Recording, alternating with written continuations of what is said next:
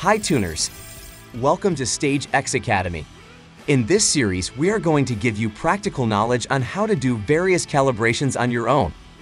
In every episode, step by step, we will be presenting on what you need to do to get things done in an easy and fast way, and how to benefit from all StageX features. In this episode, we are going to take a closer look at the gearbox display topic, using as an example the 2017 BMW 5 Series. In most cars, equipped with automatic transmissions, the display of individual gears takes place only in special modes, such as sport, race, or manual mode. However, most drivers prefer to always be aware of what gear they are currently in.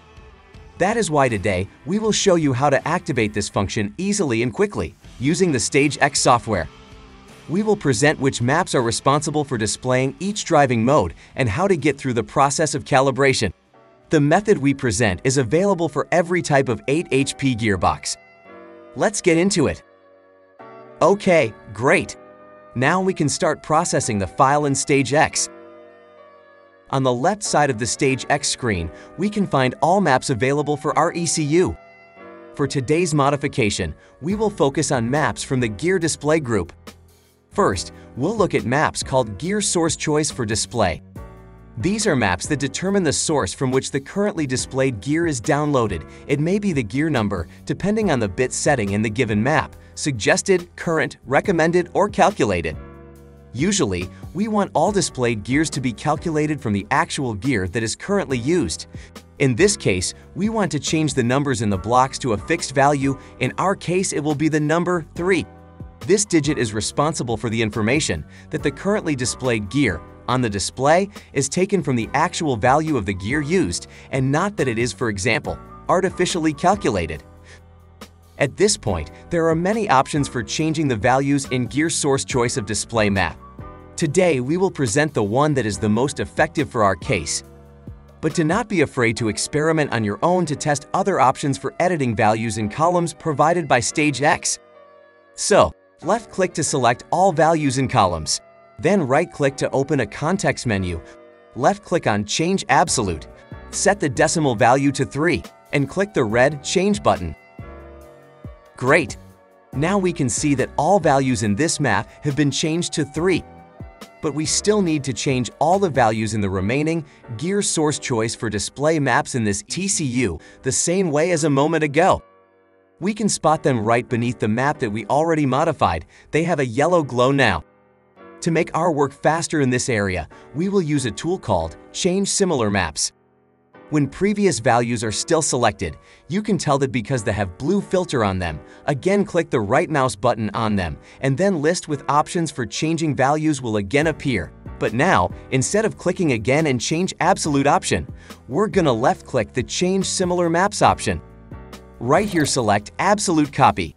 Next select all maps, gear source choice for display, and click the Change button. We automatically modify the remaining gear source choice for display maps. Thanks to this option, we saved a lot of valuable time. Alternatively, we would have to repeat this action manually on each map separately. When we have finished changing all gear source configuration for display maps, we can then go to the editing process of the last map in this subfolder, which is located just below the previously edited maps. It is called Gear Display Configurations. It is a bitmap that configures the in-car gear display settings. We currently have various values in the map columns. Usually we want to set the value to decimal 2.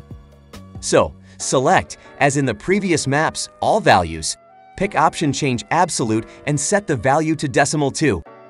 And now, when we made all necessary modifications to our gear display maps, we can save our file. Let's name it gear display. Next, let's export our modified TCU file. Done. At this point, we are ready to save our file directly to the BMW TCU, achieving the desired effect in the car. Let's do it together and check the effects of our work.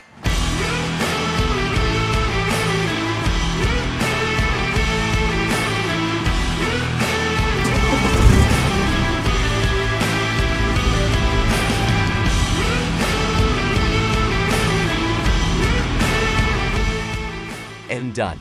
As you can see, everything went our way and we achieved the desired effect in a very simple and quick way. That's all we have in this episode of StageX Academy. Remember that we are always active in the comments section, so if you have any questions or ideas about what you would like to see in future, please let us know. See ya at your next tune.